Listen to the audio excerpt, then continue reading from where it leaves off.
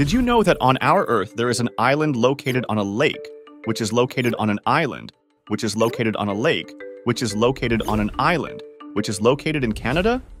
This rare phenomenon is called a recursive island, and this specific instance is considered the largest. Interestingly, this island does not even have a name as well as this lake, as well as this island, as well as this lake, while this is Victoria Island. In fact, there are many such islands on our planet, but they are often hard to find. It is interesting that such recursion can also exist for countries. Here is one example. This village is located in the United Arab Emirates, but it is surrounded by another country, Oman. But around Oman is the United Arab Emirates again. This happened because the residents of this village simply wanted to be part of the UAE, while the surrounding residents wanted to be part of Oman.